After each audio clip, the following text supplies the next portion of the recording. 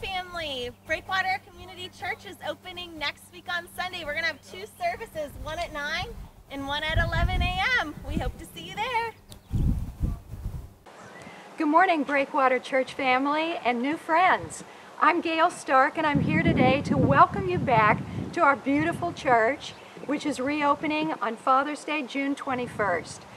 After the church message is given, we are coming out into the garden to enjoy all of our beautiful sunshine and plants and to fellowship one with another. Church family, it'd be so nice to catch up with what all we've been doing since we've been gone. So don't be shy, come on back, hold up that shield of faith.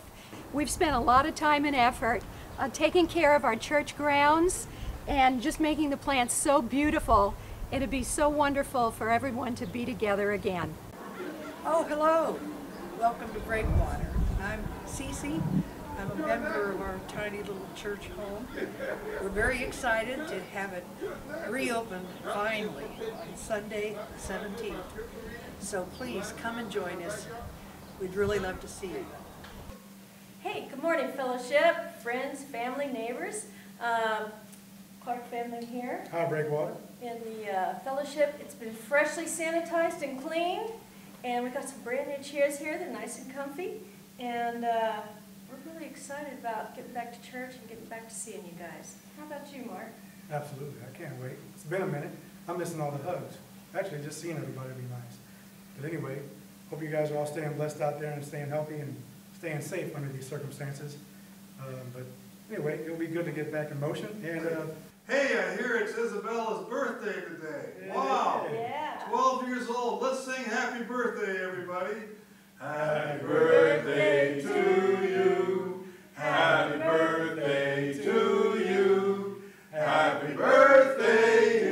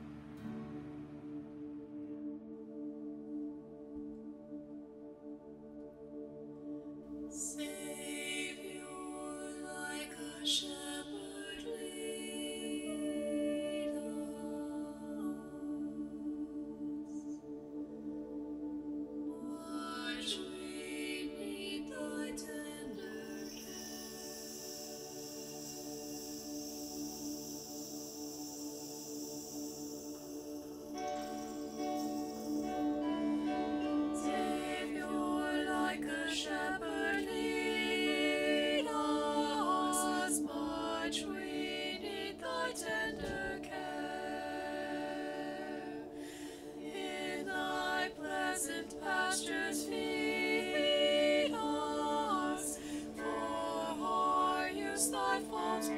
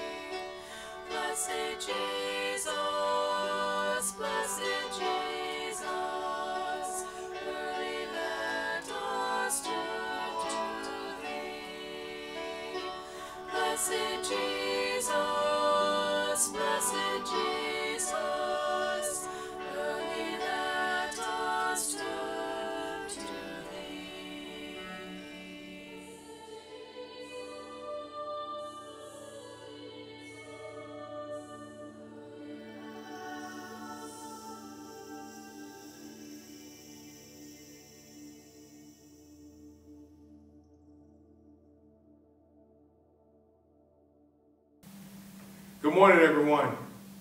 My name is Pete Copeland. I will be delivering the scripture reading for this morning. Our scripture reading is from John chapter 10, verses 1 through 15. The Good Shepherd and his sheep. Very truly, I tell you, Pharisees, anyone who does not enter the sheep pen by the gate but climbs in by some other way is a thief and robber. The one who enters the gate is the shepherd of the sheep. The gatekeeper opens the gate for him, and the sheep listen to his voice. He calls his own sheep by name and leads them out. When he has brought out all his own, he goes on ahead of them, and his sheep follow him because they know his voice, but they would never follow a stranger. In fact, they would run away from him because they do not recognize a stranger's voice. Jesus used this figure of speech, but the Pharisees did not understand what he was telling them. Therefore, Jesus said again, Very truly I tell you, I am the gate for the sheep. All who comes before me are thieves and robbers. But the sheep have not listened to them.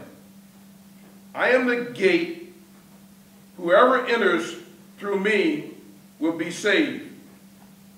They will come and go out and find pasture. The thief comes only to steal and kill and destroy. I have come that they may live life and have it to the full. I am the good shepherd. The good shepherd lays down his life for the sheep. The hard hand is not the shepherd and does not own the sheep. So when he sees the wolf coming, he abandons the sheep and runs away. Then the wolf attacked the flock and scattered it. The man runs away because he is a hard hand and cares nothing for the sheep. I am the good shepherd. I know my sheep, and my sheep know me. Just as the Father knows me, and I know the Father, and I lay down my life for the sheep. May the Lord bless the reading of his word. Our memory verse this morning, like all scripture, has special meaning.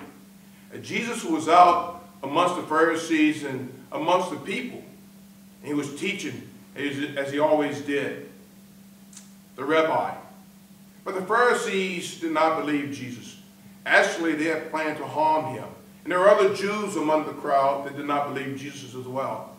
But in this scripture and in this memory verse, Jesus laid it out for us.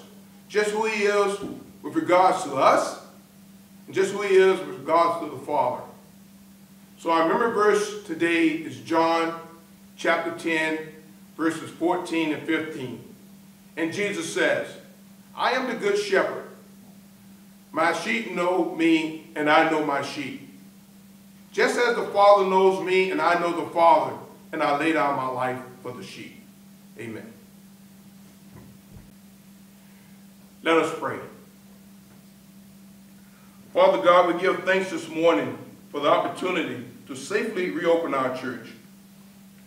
We have taken every precaution that we can to safeguard those that attend. But we know that the best safeguard to put in place is prayer. So we pray this morning for the health and well-being of all that are here and those that will attend with us here at Breakwater in the future. We extend our prayers to all churches and places of worship throughout the world. We ask, O oh Lord, that you watch over them, where they gather and where they pray and worship your name. Be it at a church, at a home, or in an open field or parking lot. Keep them safe, O Lord, as they gather. We ask a special prayer and blessing for the many people and families whose lives have been devastated as a result of this COVID virus and this pandemic. For the hundreds of thousands of lives lost throughout the world to this disease, many here in our own country. Within our own congregation, we pray for the health of Jeannie Soto and Helen York, who has been experiencing health problems, and we ask, Lord, that you watch over and be with them, with their families. We pray for those on the front line fighting this disease at every turn. Those in the medical profession, absolutely. But also those that deliver our food to our stores and other essential designated personnel. And if the coronavirus and this pandemic weren't enough, we pray for a decrease in the escalating racial tension and unrest in our country. Events that have divided our nation along racial, social, and economic lines. Racial unrest that has turned family members and friends against one another, but has also united communities towards seeking a common goal, a common cause of fairness and justice for all, one nation under God. In closing, we pray for our leaders at every level, in the home, in the church, in learning institutions, in medical research, and yes, in our government. When people at each of these levels work together for a common goal, we all succeed. We gain hope and prosperity for a better day a new beginning, and another opportunity to praise you, O Lord, from which all blessings are received. In the end, we are all God's children, created in his image. In Jesus' name we pray, and all God's children say, Amen. Hey, greetings, mighty warriors. The Lord is with you. Uh, good to see you this week. Uh, this will actually be our last uh, coronavirus shutdown Sunday. And so I want to give a special shout out to Mike Ellis. He's been here for 13 weeks in a row uh, recording these things. And uh, Christina and James Fuller have helped him edit. And it's kept us together as a church these past 13 weeks. And we appreciate it, Mike. And uh, next Sunday we'll be open for business, as you've heard our guests say uh, on, the, on the earlier film today. uh, 9 o'clock service, 11 o'clock service. We're keeping social distancing and have great fellowship times outside. So uh, I'm looking forward to talking to an actual congregation in, in future weeks. I'm kind of tired of just talking to the camera. So, but thanks for bearing with me all this time. Uh, this morning, uh, uh, when we come back, uh, we're not going to have Lighthouse Kids for a while, but we are going to have uh, children's sermon every week.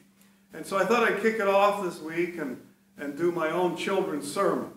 So uh, parents, if you've got children in the house as you're watching this video, maybe pause the video right now and go get your kids because I got about a five minute section that'll be just for your kids.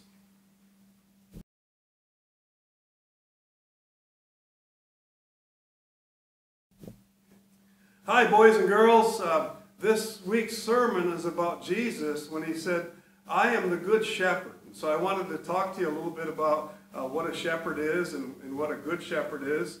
Uh, I don't know if anybody's ever seen a shepherd. There's not a lot of shepherds here in Southern California.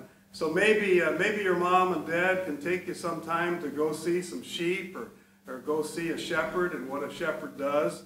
But a shepherd, shepherd, is somebody who herds sheep, uh, someone who leads sheep.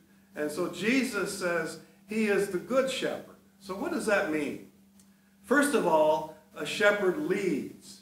He goes out in front of the flock of sheep.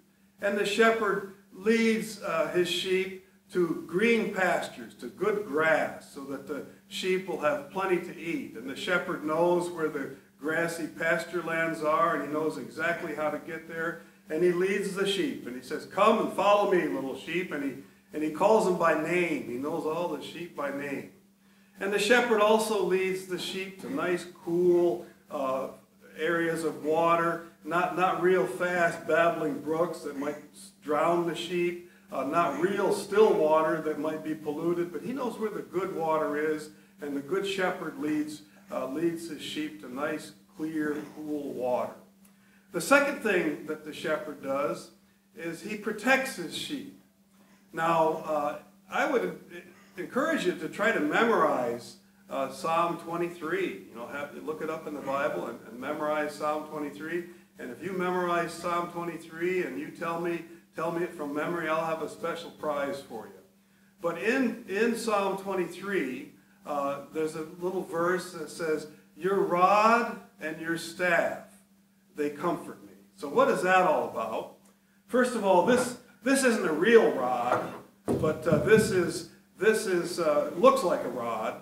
Uh, and what the shepherd would do is he would take this rod, and if he saw the wolf coming, he would take it and throw it at the wolf and get the, get the wolf away from the sheep. Now, I'm in the church today, so I'm not going to take this rod and, and throw it because I don't want to damage anything inside the church. But if I was a shepherd and if I was outside and I saw a wolf coming, I would take this thing and throw it right at the wolf to get him away from the sheep and, and protect the sheep. So your rod shall comfort me.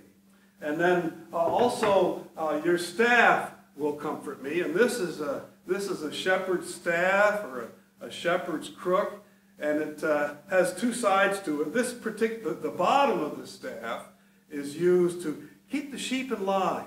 You know, sometimes they get out of line. Sometimes they go off the path. Sometimes they want to get into trouble. So the shepherd might tap them a little bit on the backside to get them, get them going the right way. And your mom and dad do that too. They, they might give you a timeout or a quiet time just to get you right back on the right path. And they do that because they love you.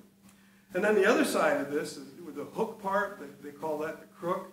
And uh, what the shepherd uses that for is if a little baby lamb falls down, a little baby that's just born, uh, if, the, if the shepherd were to pick up that little baby lamb with his bare hands, the mother might reject it because they smell of human hands on, on her baby.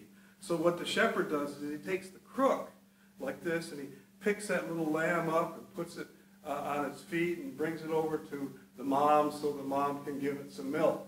And then the other thing this uh, hook is used for, this crook, is if, uh, if a lamb gets into the bramble bush or thorns. You ever been around thorns and you stick your hand in the thorns and you can cut your arm? It's nasty.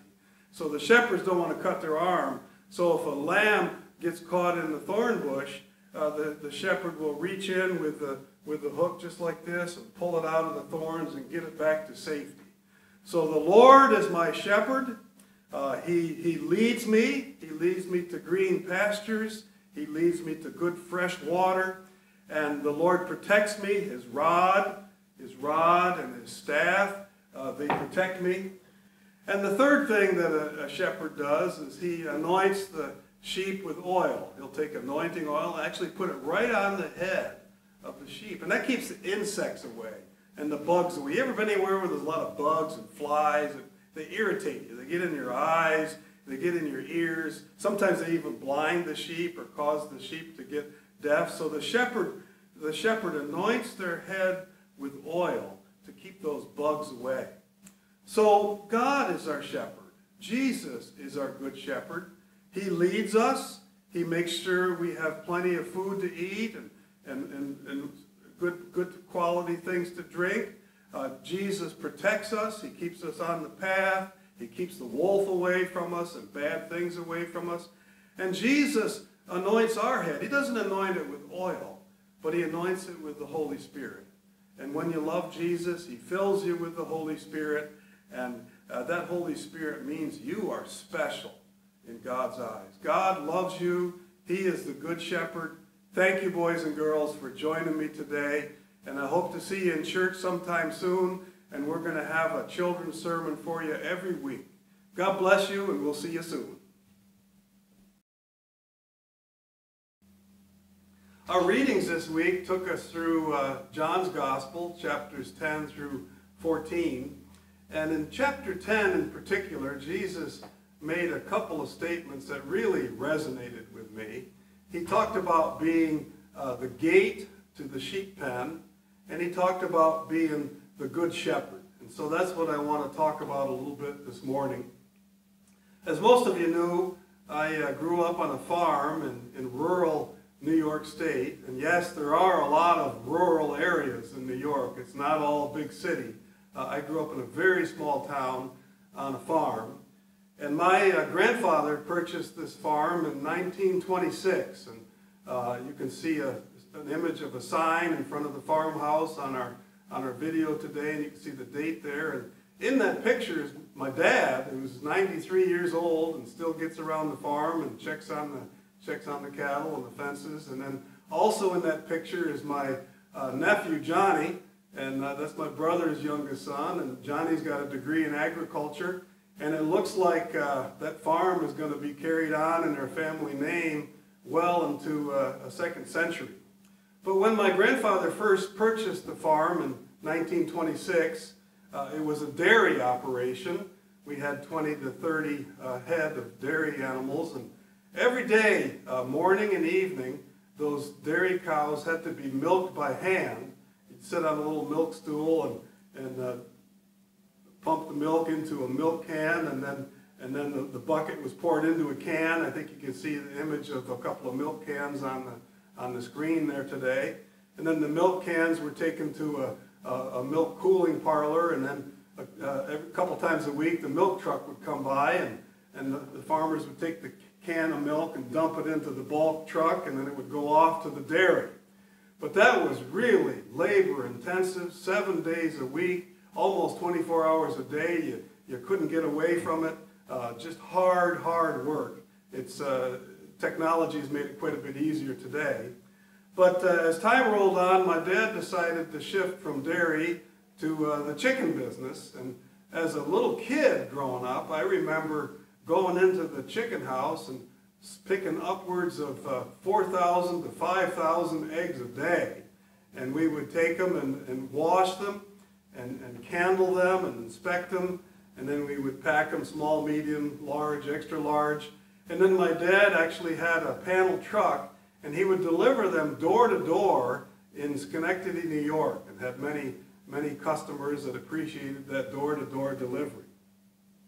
In 1964, however, we shifted to uh, the beef cattle business, and we've been in beef cattle uh, ever since. And those, those are my formative years.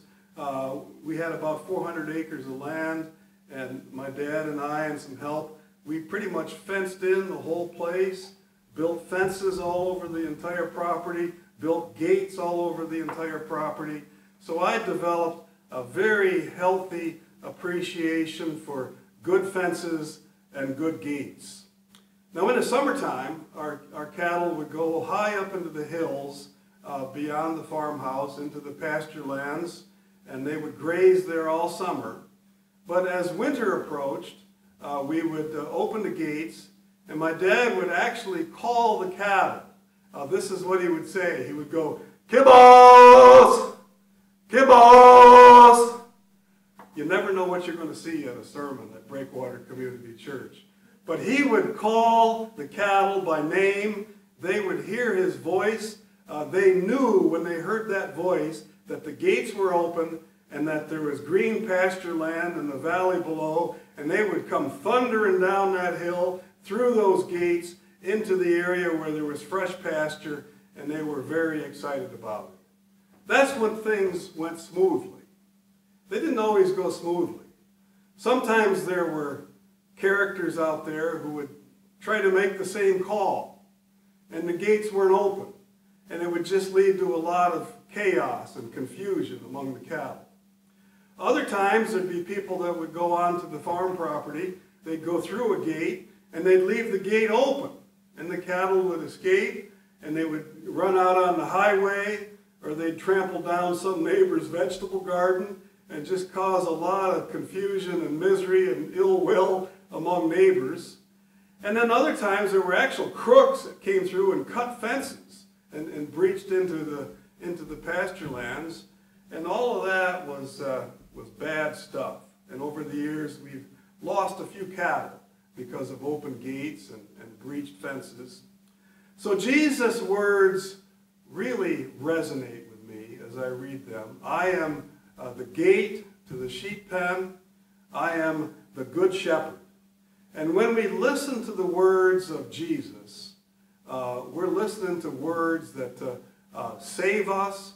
We're listening to words that offer us life and life to its fullest, a life full of joy and peace and inner strength. But when we don't listen to the words of Jesus, we're listening to the voice of the wolf. And the wolf brings violence, he brings destruction, he has no respect for human dignity, and just causes a lot of chaos and ill will.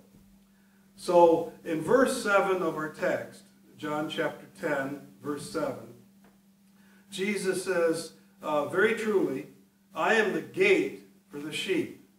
And then in verse 9, he says, I am the gate. Whoever enters through me will be saved. They will come in and go out and find green pasture. You go through the gate. Uh, you close the gate. You open the gate. You don't go through the fence. When you go into somebody's house, you generally go through the door. If you go through the window uh, or some other way into that house, uh, it's going to cause some confusion in the neighborhood. They'll be looking at you rather suspectfully. Uh, in, uh, a few years ago in, in Kansas City, Missouri, there was a lady that woke up in the middle of the night and she heard a voice that said, Help! Help! And she thought her husband was uh, in agony and crying out, and so she shook her husband and woke him up, and she realized he wasn't crying for help. And so she tried to go back to sleep, but she still heard that voice, Help! Help! So she got up out of bed, she turned the, went into the living room, turned the light switch on. She could hear the voice, help, help, where are you? She cried out. And uh, the voice said, in the fireplace. And sure enough, she walked over to the fireplace, uh, looked underneath it, and there was a burglar. His head was facing towards the floor. He was stuck in the flue of the chimney. And so she had to call uh, 911 and the police and the fire department came and they had to remove several bricks from the fireplace and remove the mantle and part of the flue. And finally they got that burglar out of the house. I don't know what happened to him. But um, abundant life is not that hard to find if you go through the right door. And the right door is, is God's grace. The grace of God uh, brings salvation. The grace of uh, Jesus Christ uh, leads you to green pastures and, and offers hope for your life. The gate of Jesus Christ does not allow for racism. Uh, I've been in ministry for over 40 years, and my finest friends are those who've gone through the gate of Jesus Christ. And that gate is colorblind. Uh, one of my best friends was a black man from the deep south. His name was Rufus Addison. And he helped lead me to the Lord. Another one of my good friends was uh, met at seminary. His name is Suchai Visanjan from, from Thailand. We had great fellowship together. Uh, in, as a chaplain in the Navy, one of my best mentors was a Greek Orthodox priest by the name of Bill Bartz. Um, among uh, people involved in my ministry in the Marine Corps was a Master Gunnery Sergeant, uh, Hispanic guy, David Escalera. All love the Lord. All of it's colorblind. There's no room for racism as we go through uh, the gate of Jesus Christ. Jesus himself uh, shattered uh, racial stereotypes when he spoke with the Samaritan woman. And, and the Bible says he had to go through uh, Samaria because Jews and Samaritans hated each other. And Jesus said, no, we love uh, all human beings made in the image of God. We think of the uh, Apostle Peter as Jewish as you get in Acts chapter 10, uh, shared his faith with Cornelius, a Roman military officer. We think of one of the early deacons, a Greek by the name of Philip, who ministered to the Ethiopian eunuch and shared his faith with a man from North Africa. There's no racism as you go through the gate of Jesus Christ. As they say, the ground is level at the foot of the cross. Uh, Jesus loves all the little children of the world, I sang as a little boy in Sunday school. Red and yellow, black and white, they are precious in his sight. No racism uh, when you go through the gate of our Lord Jesus Christ.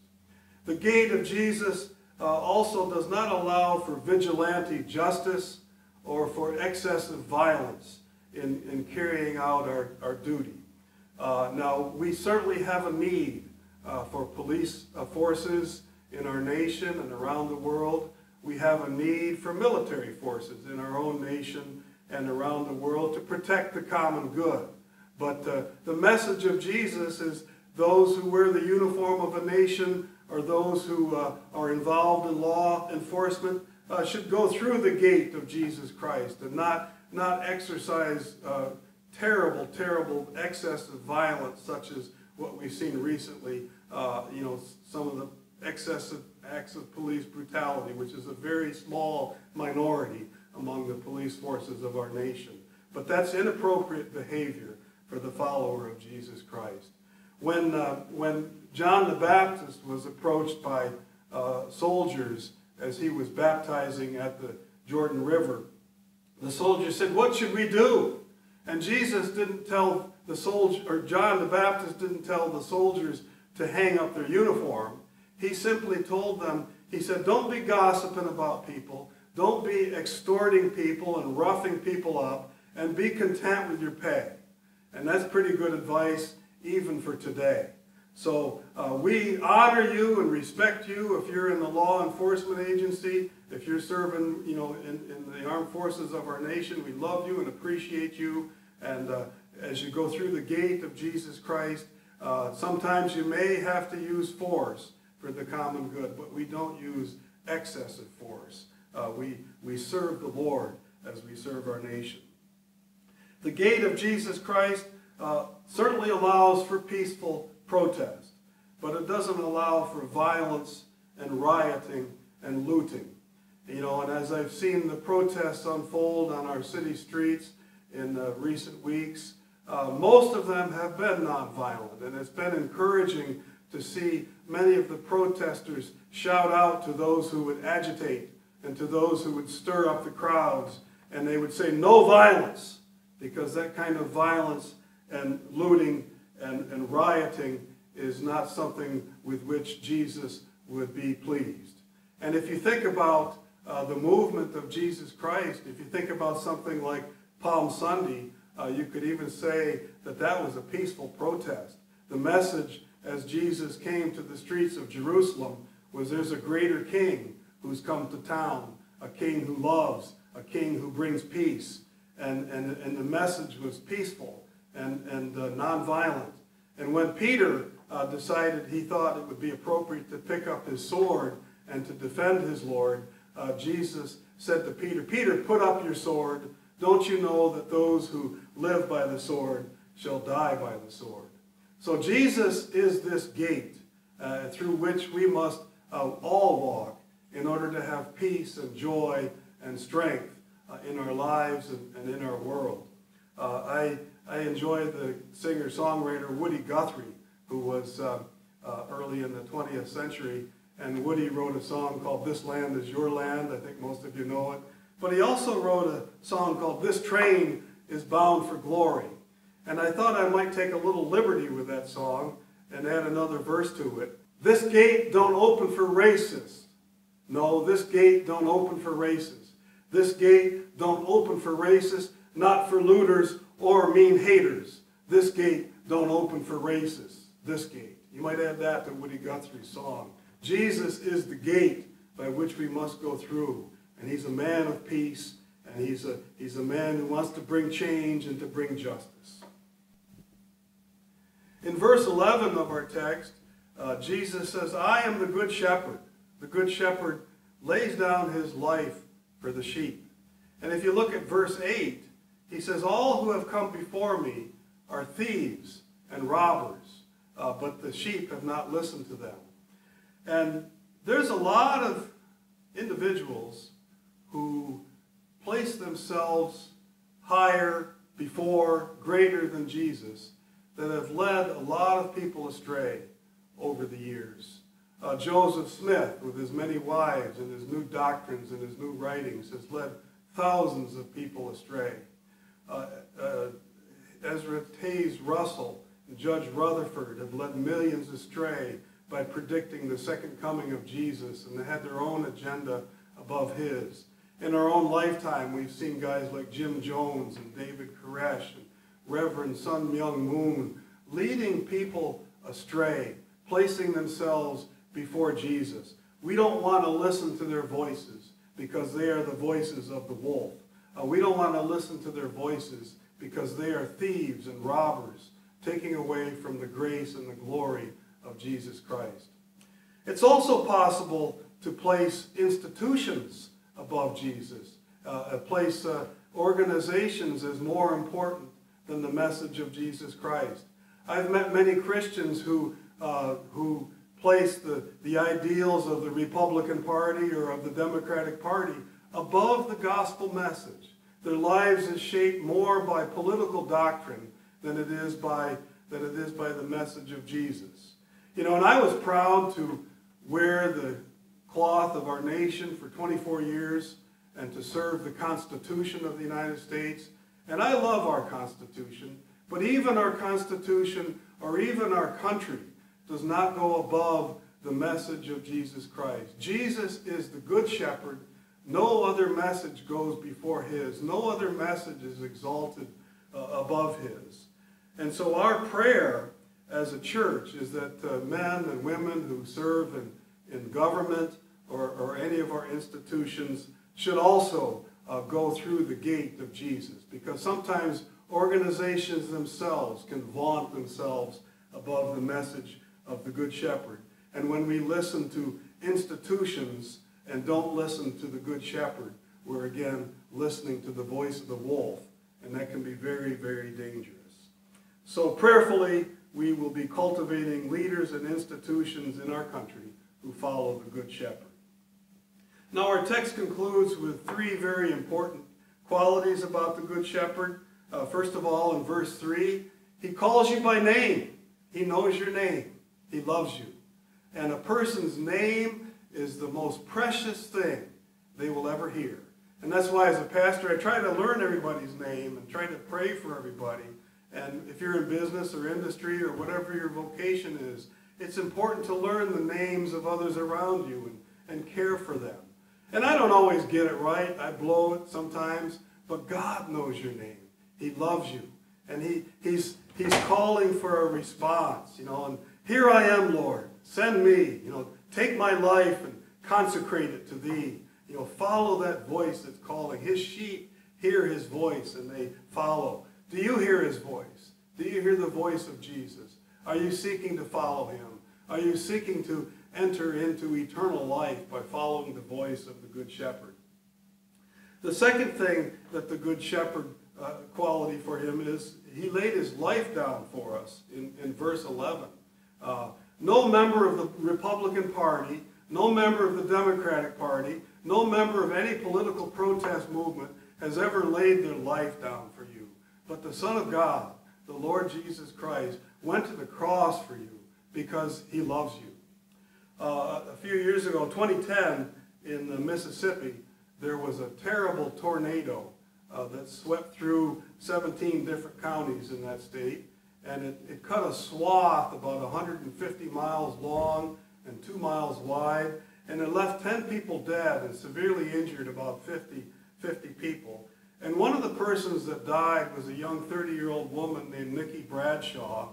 And she, she heard the tornado coming, and she couldn't get out of the house. She couldn't find a place of, of safety. And she took the mattress from her bedroom and covered up through the mattress on top of her two young sons and laid on top of that mattress. And the tornado blew that house down and killed Nikki. But her two children underneath that mattress survived the tornado. And that's the kind of love the Lord God has, each, has for each of us. He laid down his life for us. He loves us so much. And finally, the third quality about this Good Shepherd is he came that we might have life, uh, and that we might have life abundantly. Do you want joy? Do you want peace? Do you want some hope? Do you want some inner strength? Even during times of chaos, even during times when all the institutions of government and everything is shut down, even in times of violence and chaos, the peace of God that surpasses all human understanding will fill your soul if you follow the Lord Jesus Christ. He came that you might have life abundantly and eternally. So Jesus is the gate of the sheep. Jesus is the good shepherd. He calls you by name. He laid his life down for you. He has come that you might have life. And it's a life that's rich and an abundant. And uh, I pray that you know him and that you love him and that you have the kind of peace that he promises. Will you join me in prayer? Our Heavenly Father, as we reflect upon these words, we don't know who might be watching this video, but there might be somebody out there that uh, has been following other voices for a long time, has been following the voices of wolves and thieves and crooks that cut through fences and leave gates open and cause a lot of chaos and havoc in the human community. But uh, Jesus is the Son of God. Jesus came to this world that we might have life. And so today, Lord, June 14th, 2020, I want to turn my life over to you. I want to hear the voice of the Good Shepherd. I want to go through the one who says, I am the gate of the sheep pen. I want to have eternal life. So Lord, forgive me of my sins. Come into my life. Be the Lord of my life. Change me and fill me with your spirit, Lord, that I might be your child and that you might be my God. I pray in Jesus' name. Amen. If you uh, prayed that prayer uh, this morning, uh, send me an email or give me a call or tell one of your Christian friends that you made that prayer and get committed, start reading the Bible, get plugged into a church that honors the Lord, and you will be blessed and you will have life abundant and full. Hey, thank you for joining us today. It's a thrill to share from God's Word and uh, pass it along on a video. If you uh, uh, see someone that might benefit from uh, the video, send them this link. Our readings for next week, uh, John chapter uh, 15, 16, 17, and 18, and 19. Continue plugging away, church. Read those five chapters every week. do the Hear Journal. do the memory verse. Get involved in a D group or a life group or a small group. It will bless your life It will strengthen you. It will draw you close to God. Hey, hope to see many of you next week. Uh, again, our services will be at 9 a.m. and 11 a.m. And if you have any concern about your health or uh, worried that it might be too soon that you're coming back, uh, we will still record these messages.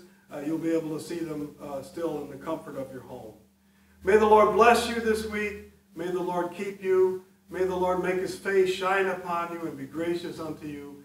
May the Lord lift up his countenance upon you and grant you peace. Through our Lord Jesus Christ. Amen and amen.